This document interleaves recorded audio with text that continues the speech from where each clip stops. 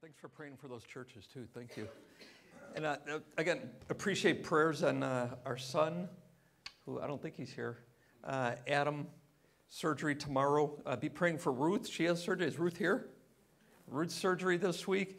Keep praying for Russ and Ron Walker and all you sick people. Okay. Keep praying. Thank you. Um, appreciate that for, for Adam tomorrow too and Ruth's surgery Tuesday. So, um, any of you ever read uh, any writers in the room? Uh, take writing classes in college. They, um, there's a character types in writing article I read, and depending on the book or the articles you're reading, uh, I was searching for these two main characters you absolutely need in every story. Um, one article had 18 characters you need. Um, another one, th- these two main ones. You always need a protagonist and an antagonist. Now, up until our story here in the Bible, we don't have any antagonist, correct? Everything is perfect. God looked out over the, uh, his creation, and it, it was all very good. Very good. No antagonist. And how many people think that's kind of boring, especially if you're reading a story, right? You need an antagonist. Uh, today is uh, four teams are left in the football the playoffs, and I don't hate any of the teams.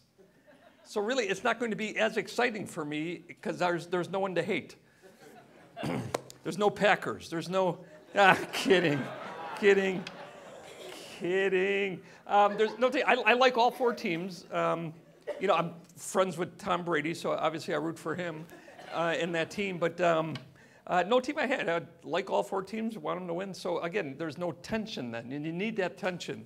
Well, today in our historical, true, factual uh, story, we get the antagonist finally, and uh, uh, our characters, as we left them off, are in perfect bliss and harmony. Everything is perfect. Uh, this is uh, real life. This is what life is supposed to look like. This is what uh, life is uh, as Jesus promised it. There's God and there's man, there's woman, there's Eden, there's perfection and fellowship and harmony and unity and companionship. And we're missing that antagonist. Enter Satan enter Satan. And we finally get him, and uh, the enemy looks a lot like uh, us, to be honest with you.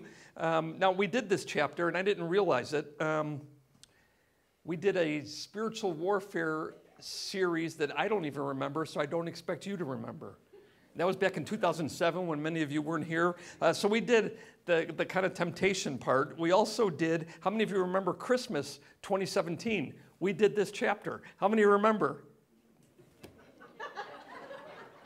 Nobody. Uh, I, I, asked for those who uh, give me input on the next series we want to study. Mary Randall said, um, forgot what book she Bel and the Dragon, I think. No, she didn't say that. I'm kidding. kidding. Acts. And I said, Acts was the first series I did here back in 2004, 2005. Um, but I said, eh, you're the only one that asked, so let's do it. And we'll do a three year study on it. Yeah.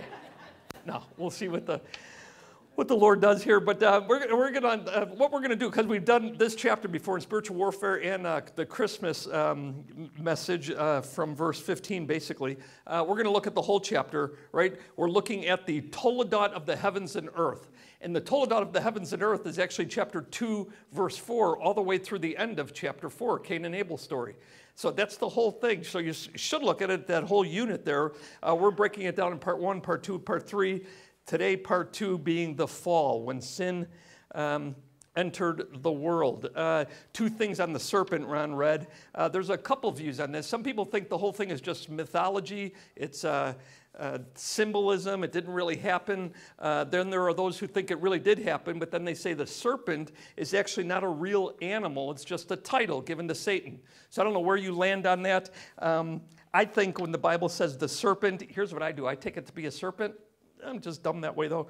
And what helps me to take the view that it's not just a title of Satan, even though he is given that title even in Revelation, I take it to be Satan and an actual serpent. Uh, verse 14, uh, cursed are you above all livestock. Verse 1, he's comparing him to uh, other created animals. So I think it is Satan uh, speaking through the serpent here. I believe that. Um, so we'll just do that quickly. I think it's a real biological snake. I think this story is historical and actually happened. It is not myth, especially if you look at other myths. This this story is actually kind of sober compared to other so called myths. So I think it actually happened. New Testament supports that it happened as an historical story. So that's how I take it. So Review quickly Genesis 1 and 2, God looks at everything He created, everything was right, everything was good. Chapter 3 tells us why everything is wrong with the world, why there's so much damage and pain and conflict, why there's so much wrong with the world, with your life, with your heart, with your marriage. Sin enters the world here. If you read Romans 5, it doesn't look like sin was created here, it looks like it just entered the world here. But um, Okay, that's just the, the intro. I really believe that it's a biological snake that it, uh, Satan was using, speaking through the snake, and I think that uh, this story actually happened. Okay, we'll get through that, and then um, we're just going to go through the outline and look at the whole chapter instead of different sections. Okay? Are you all right? Everyone okay? You don't seem excited. oh, okay, let's talk football. Anybody hate teams that are out there? The Bears aren't in the playoffs. Get, who said that? Enerson? Out. Ushers escort him out. All right, let's talk about Genesis. Okay, you don't seem excited though. You excited? Talk about sin? Yeah, let's talk sin. Yeah, let's talk about hell. Okay. People are weird. Okay. All right. Uh, Ron read it. Let's start with the deceitfulness of sin. Uh, notice how Satan does this. He starts with conversation. Ron read this part starts with conversation. Did God really say? Uh, now, what we're going to do is apply, this is how the tempter comes at you too. He starts with conversation. And notice that it's a religious conversation. Let's talk about God and His Word. Very subtle here, very uh, clever. Uh, my point is this when Satan comes to Eve like this, he's not coming as some secularist. He's not coming as some atheist. He's not coming as some agnostic. Look at what he does here. Let's, let's talk about God. Let's open God's word and let's talk about what God said. You could see that he's just, as this serpent, crafty servant. What is that? Am I okay? Okay. Uh, subtle and shifty and crafty. Let's talk about God. And the first thing he's going to do to Eve, and this is how he approaches us, he's going to try and obscure God's goodness. Think about that. He's trying to obscure, obscure the goodness of God. Did God really say any tree. Subtle. Look at what he's doing to Eve here. Eve then says this you must not touch. Uh, you, you, can't eat from it, and you must not touch. Some people make a big deal out of that phrase in verse 3 that Eve actually added on. Some people think legalism here. God didn't say you can't touch it. Maybe she's just uh, uh, protecting herself. Uh, regardless of that, I think the key is to remember this Did God really say that? Look at how he's approaching Eve. God really isn't good, is what he's saying. Chapter 2, the whole point of chapter 2, this is what life looks like. And all the, in the context of that, it's all about abundance. It's lush, it's green, it's plenty. Every tree is yours, chapter 2, except one. Okay, that's how God approaches uh, the man and the woman. Every tree is yours except this one. Satan comes at it and say, "Did God really say? And you can't do this." Focusing on the restriction not the plenty in the context. Okay, you following that? Uh, chapter 2 is flowing rivers, abundant food, uh, good looking trees, great tasting food, but the subtle attack. Did God really say from any? Notice what he's doing here. He's not placing the emphasis on all the riches God permits, but instead on the one restriction God withheld. Now, note that because that's how the tempter comes at you. The restriction is far more restrictive than God even said. Eve corrects him, but the, uh, the seed is sown. It's genius. Ron read that. Notice how Eve corrects him there, but I think the seed is sown. He's obscuring the goodness of God with the subtle attack. So note this when the tempter comes at you, he is uh, going to come at you beginning with your view of God.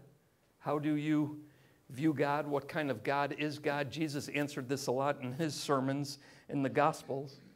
What's your view of God? Careful, because this is how Satan's going to attack you. He's a Scrooge. He doesn't want you to have freedom.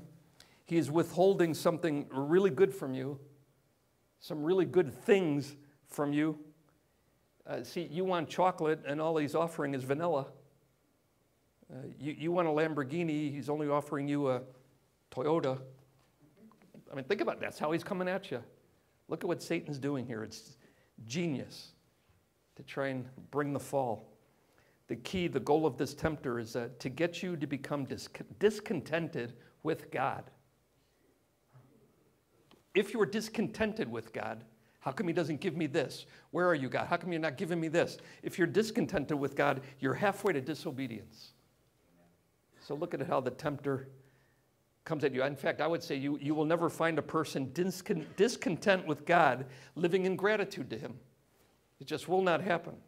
If you're satisfied with God, you're not going to be discontent with God. So your view of God is very important, and that's where Satan starts. How many of you memorized Jude 21? How many of you memorized the whole book of Jude? Nobody? Jude 21. Do you know that verse? Look at that verse. Uh, keep yourself, think about this. Oh, keep yourselves in the love of God, looking for the mercy of our Lord Jesus Christ unto eternal life. Look, look at that command there. Keep yourself in the love of God. What, what is he saying? It's almost like the apostle here is saying, um, God loves you. In fact, he says that in verse 1 of Jude. God loves you. To all the people God loves. Then he says here, keep yourself in God's love. It, it's almost like he's saying it's your duty to realize God continually, continually realize God loves you. That's how you keep yourself in the love of God. Why? Because Satan's going to come at you. What, what's your view of God? How come he's withholding this? Where's this blessing? Why isn't he doing this? So, your job, keep yourself in the love of God every single day. God loves me. God loves me. God loves me. God loves me. Mm. Uh, if you don't do that, eh, keep yourself in the love of God, look, look what could happen. Keep yourselves in the love of God. So the tempter starts with conversation. Then he moves to contradiction. Ron read it already. You will not surely die. You see the uh, contradiction there? For God knows that when you eat of it, your eyes will be open. You'll be like God, knowing good and evil. He starts with conversation, good conversation too. He's not a secular humanist, he's not atheist. But the contradiction, you will not surely die, contradiction, uh, opposing, denying the word of God. He doesn't call God outright a liar, but he directly contradicts God on the penalty. Uh, this verse 5, what do you, you notice in verse 5, he's bringing in a rational explanation and a suggestive promise. Your eyes will be open. You'll be like God. So, what is he saying to Eve here? Oh, Eve, I see you're taking God literally here. You're not going to die. God has reasons for his restrictions. You're really, you're not going to really die. But, but understand why God did this. You're going to be like him. No mention of death. You're just going to be like him. God knows that if, uh, if he lets you have that, you know, that thing he's holding from you, uh, if he lets you have that freedom, you're going to be at his level. So here's God just, uh, he's just trying to keep you in your place. That's all he's trying to do. He's keeping you from maximizing your human potential. He's not so much a liar, he's, you know, insecure. He doesn't want you to be like him.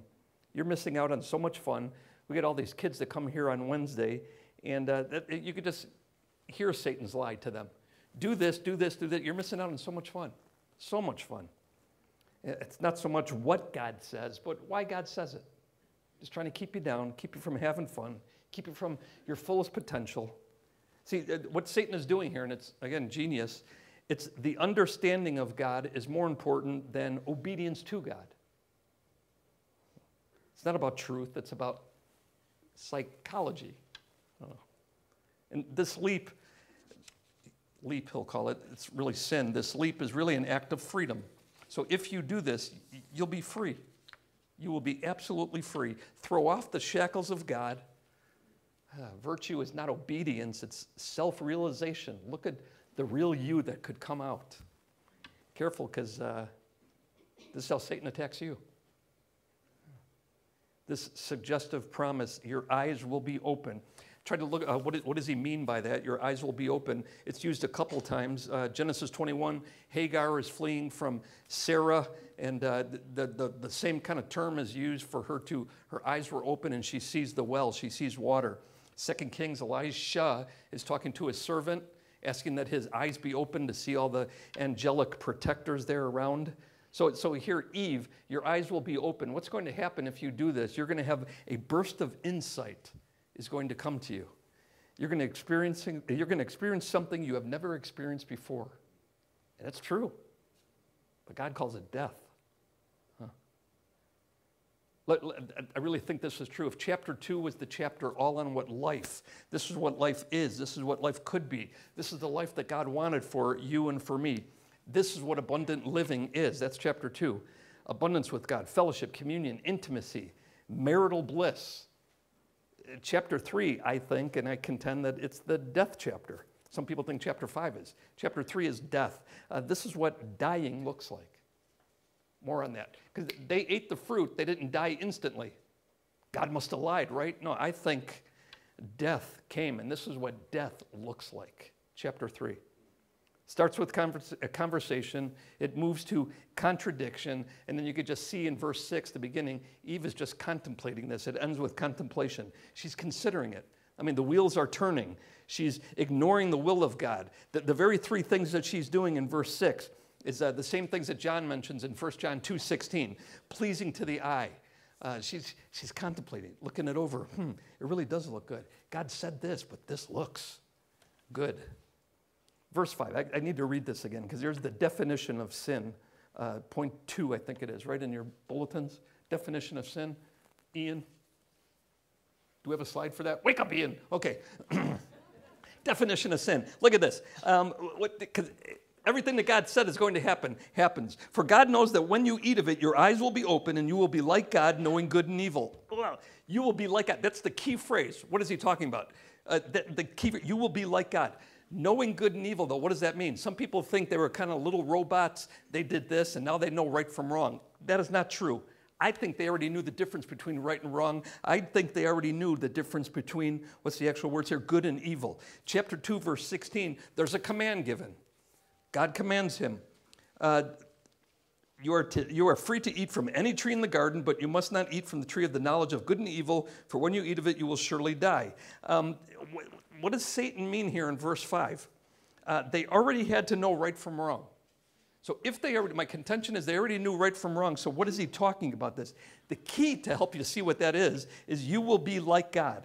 What he's saying there is, if you do this, you'll be in God's place. You're going to take over for God. Uh, the root is you, you, you desire, here's the root of all sin, you desire the place of God. Isaiah 14 is going to use this, and if you think it's about Lucifer's downfall, Lucifer's fall from heaven as he was created as an angel, um, in Isaiah 14, the same thing is mentioned. Regardless of what you think about Lucifer's fall, the same core and essence of sin is this you want God's throne. And that's what he's talking about. Verse 22, he says it this way. Uh, here's the Lord speaking. The Lord God said, The man has now become like one of us. So it actually happened. The man has become like one of us, knowing good and evil. I contend he already knew what good and evil was, chapter 2, verse 16 and 17. So what's he talking about? He must not be allowed to reach out his hand and take also from the tree of life and eat and live forever. I think what he's talking about there is hell, but that's another thing. Um, so what is he talking about here? It doesn't mean that man, if he eats of this, he's going to be omniscient. I don't think he's talking about that either. He already knows right from wrong. It's not going to be omniscience. So, what is he talking about? Here's what Dave thinks. Okay, you ready? Okay, ready. Okay, knowing uh, X, uh, Amos 3 2, uh, Jeremiah 1 5, uh, later on in Genesis, knowing is like choosing. So, here's what I think he's talking about. If man eats the fruit, they will have God's place. Have God's place how? I will now choose. God doesn't tell me what to do, right or wrong. I will decide what's right and what's wrong. There, you become like God. I will choose what I determine to be right, and I will choose for my life what I determine to be wrong. I determine, I decide what's good or evil for me. Uh, so my sin is this, and this is the root of all sin, is the definition of sin. I will become my own God, meaning I choose, I decide, I determine my path, not someone else, not Elohim, not God Almighty. My, my uh, Northwestern University, yeah, it was Northwestern College back in the 80, what year did I go to freshman, what year did I go to freshman college? I forgot, in Minnesota, but the guy was great. Uh, he said, here's his definition of sin, anti-God state of mind. That's exactly it, anti-God state of mind. So think about this. Knowing right from wrong is simply meaning I want God's place. He's not God. I become God for my life. Here's the problem. Uh, many of us think being a sinner is this loathsome, evil, wicked, disgusting, vile, vicious, violent, malicious, immoral, foul mouthed, nasty, horrible. Don't think of being a sinner that way. Because when we think of a sinner that way, we think of, you know, them. Think about being a sinner this way. In the context, what Satan is telling him you could have, it's yours if you do this, and that this is sinning and disobedience.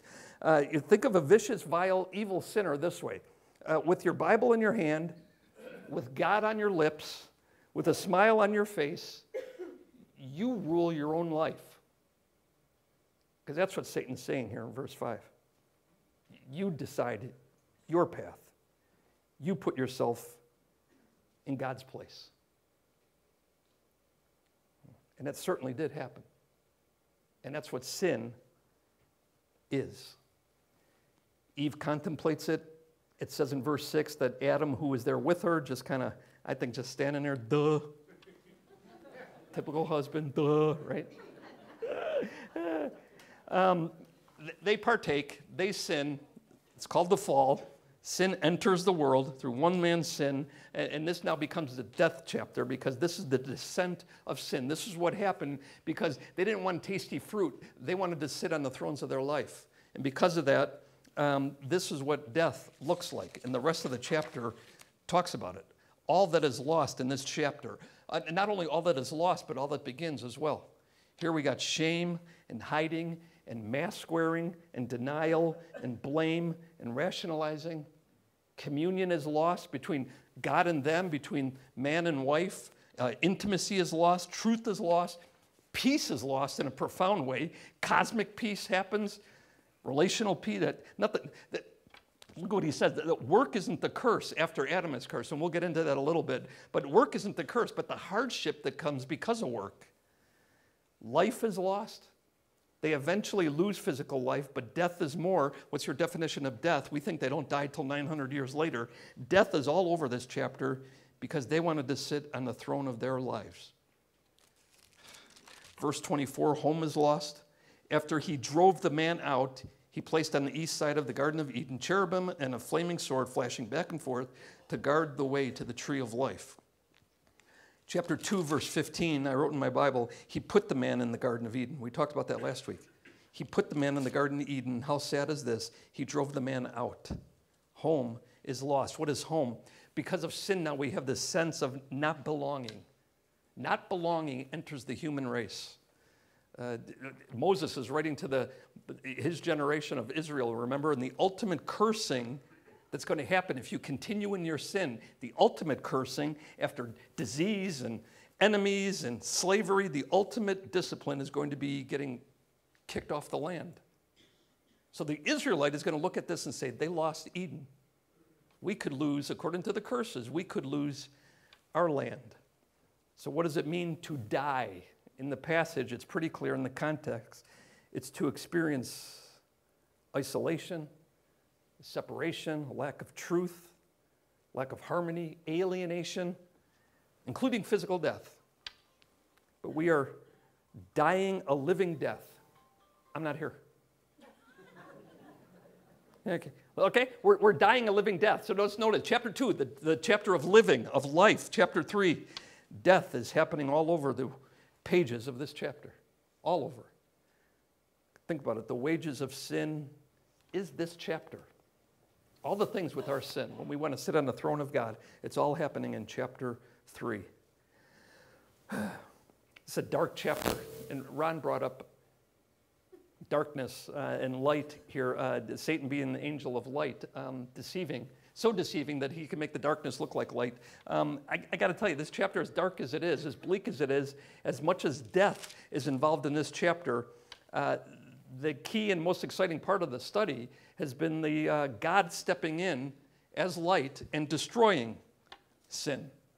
I mean, after a thing like this, do you need any hope, any signs of hope? Well, they're all there in verses 8 through 24. With all the darkness, with all the death, it's all there. So if, if, if it's the, the wages of sin is death, is all over that chapter. What's the hymn, the line of the hymn? Uh, Grace greater than all our sin, taken from Romans 5 20, where, where sin is, grace increases all the more. A lot of times we look at this dark chapter of death, we just see, oh, look at Adam's discussing, Eve's discussing, I'm discussing. But uh, look at what God's doing in this chapter. There's so much hope in this chapter. So I want to concentrate on just the last few minutes here. Go to the next one. Uh, all the good things that are uh, happening in this chapter. Uh, grace is all over the place. Grace and God seeking. Um, look, grace is just everywhere. This dark, ugly chapter with this message of Moses, here's what he's saying there is hope, there is grace. And it's seen all over the place. Like I said, grace and God seeking. Look at verse 8 through 10. Then the man and his wife heard the sound of the Lord God as he was walking in the garden in the cool of the day, as they hid from the Lord among the trees of the garden.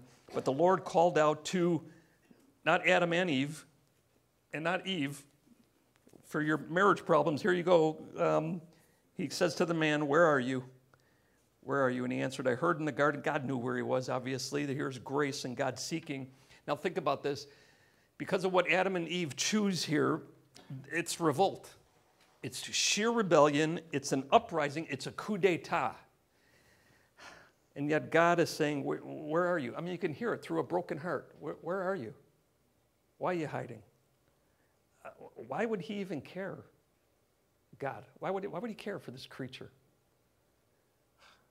the fact that the omniscient God looks for, searches for, is seeking the sinners? What is that? Well, it's, it's grace. That's what it is. I have uh, two huskies. Uh, any crack in the garage door, and they flee. For some strange reason, my dogs come back. But I'm at the point now where I don't freak out. I just say, see ya. It's been nice having you. Uh, they do come back. I, I don't go looking for them. I mean, they, who wouldn't want to live in my backyard, right? They leave and I say, see you later. Hope I javelina get you. No, they come back. Um, look at what, what, Adam and Eve do. I love my dogs. What Adam and Eve do here, um, they're just a lot of work. God goes searching for them. I mean, immediately almost. What is that? I'll tell you what it is. It's grace. Grace and God seeking. Look at the next one. Grace and God's curse. Verse 15. I will put enmity. This is God speaking. I will put enmity between you and the woman, and between your offspring and hers. He will crush your head, and you will strike his heel. I want you to see grace in that. When God talks to the serpent, he says, Cursed are you. But when God talks to the man, uh, later on he says this, Curse is the ground. Do you, do you hear that? I mean, do you even make note of that? Uh, cursed are you, serpent. Cursed are you, Satan. When he talks to the man, curse is the ground. Uh, not you, but curse of the ground because of you. What, what is that? I'll tell you what it is it's grace. The serpent cursed throughout his life. Some people think uh, if it's a title, what he's saying here is uh, look at the end of verse 14. You will crawl on your belly and you will eat dust all the days of your life. They think that's a form of humiliation. There's some verses in Amos or something that kind of uh, withholds that. But I think he's talking to an animal here, but he's putting this, this humiliation on the serpent. Um, but the enmity in verse 15, God says, I will put it. I will put it. That's a holy hostility enters the universe. By who? By God. There is a holy hatred that happens now. And God puts it there. I mean, note this conflict here. The enmity comes from God. God put it there. God made the cosmic warfare. God started it. God implanted spiritual warfare in the universe. What he's saying is this, and it's all over grace here. It's all light in the darkness. God is saying, I will not let you have my creature without a fight. Keep yourself in the love of God. That's how much he loves you. I will not let you have them without a fight. There's holy war. What is that? I'll tell you what it is it's grace. It's the stubbornness of God. You cannot have them, Satan, without a war. And the cosmic battle begins. Boy, it's grace. Note, note the channel of salvation. Um, notice how God says this. Don't miss this, please. God says um, this, this channel of salvation is going to be, uh, come through who? He, he says between your seed, talking to Satan, and hers. Who's the her he's talking about? Eve, right. Now, notice that. Eve just sinned. Dopey Adam joins her. Sin enters the world. How do you think Eve feels? Put yourself in Eve's shoes for a second. How do you think Eve feels? Uh, sin comes because Eve is deceived, the Apostle Paul tells us. Adam partakes, but this fight God announces is going to happen between the serpent and the woman. Think about that for a second. Ugh, that's it. We're not leaving till you think about this. Your seed and the woman. How does Eve feel? He will crush your head, God says. It's a fatal crushing. You will strike his heel. But look at the irony on this. Who was it that the serpent deceived? Eve, the woman, who is the channel in which salvation is going to come. The serpent's demise is all hinging on the woman and her seed. How do you think Eve is starting to feel here? The serpent who deceived me is going to experience a fatal, fatal blow from my seed. The, the, the one in which Satan began his destruction, Eve, she's going to be the one and through which um, victory comes. Now, note that not, not, only the channel, note the certainty in this. Ultimate victory is declared here. This is what we talked about Christmas last year. It's a fatal blow. Her seed, Eve, her seed wins. From the woman's family will come the one who crushes the serpent. How do you think Eve is starting to feel here? A little, little bit of hope? A little, little bit of light? A coming victorious man is coming. And she, she thinks it's going to be one of her sons. That's how much hope they have. Even at the end of the chapter, verse 20, Adam named his wife Eve. That's all hope because they're believing God now. They're believing God. Ugh. Jesus came to destroy the enemy's work, to destroy the devil's work, 1 John 3 8. Romans 16 20, Paul says, the God of peace will crush Satan. But note that uh, what's Satan going to do back to her seed? He's going to strike his heel. Did you catch that? Note the costliness of this. This the Savior is coming, and his blow is going to be fatal, but the blow back on him, it's going to be costly. It's going to hurt. It's, uh, it's going to cost him something. And you, you cannot tell me, if nothing else, the Israelites that are hearing Moses say this, they're going to start hearing there's, there's someone else paying for our penalty. There's someone else saving us from our bondage. It's not about me doing it. You don't tell me they, they don't see hope in this verse 15 promise? My Old Testament professor in seminary said they, they couldn't have known that. The original hearers, no way. I'm like, crazy. They're, they're hearing there, there is light, there is hope, there is grace, there is a Savior. That's why it said in verse 20 Adam names his wife life living. It's a chapter of death, but I'm hearing God and believing His promise that someone is going to save me. What is that? That's God's grace in the curse. Verse 16 to 18, let's read this one real quick. To the woman, he said, I will greatly increase your pains in childbearing. Without pain, or with pain, you will give birth to children. Your desire will be for your husband, and he will rule over you. We'll talk about more of that one next week. To Adam, he said, Because you listened to your wife, instead of leading her, you listened and ate from the tree about which I commanded you. You must not eat of it. Cursed is the ground because of you. Through painful toil, you will eat of it all the days of your life. It will produce thorns and thistles for you, and you will eat the plants of the field. By the sweat of your brow, you will eat your food until you return to the ground, since from it you were taken. For dust you are, and dust you will return. Now, I want you to hear something about this grace and God's restraint. The curses are bad, they're bad. It's not supposed to be life for us, though. Uh, you hate your job, get another job, right? It's not about living in the curse. Child, having a child hurts, get an epidural, right? Okay? okay, I don't think we have to live like this, but here, you need to hear the grace in God's restraint here. Um, hear the grace here. Does God say you will never have kids? You're, you're going to have kids. I want you to hear something of grace in this that God is saying, here's my grace. In the midst of your sin, in the midst of cursed, being cursed, you're still going to have kids to bring about the seed. I say that's God restraining himself in the punishment. And that's grace. Man, g- the ground is cursed. You're not cursed, but the ground is cursed. That's restraint. And I call that grace. Uh, three times God says, I actually underlined it in my Bible. Three times in 17, he says it again in 18, and God says it again in 19. These three little words you will eat, you will eat, you will eat. What is that? It's grace. You're going to have hardship and toil. Life's going to be hard. There's going to be pain. There's the sweat of your brow, but I'm still going to provide. You will eat. What is that? It's, it's grace, it's hope, it's light. See, there's judgment on his creature for sure, but note also there's judgment in what he doesn't bring, meaning it could be a lot worse, don't you think?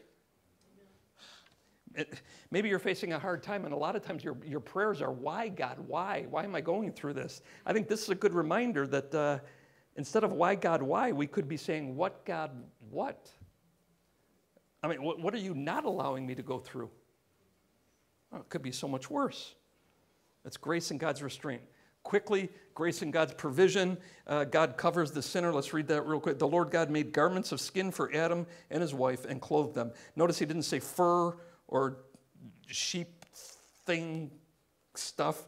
Um, garments of skin, I mean, he had to kill the animal. I think that's the shed blood, pointing to uh, atonement.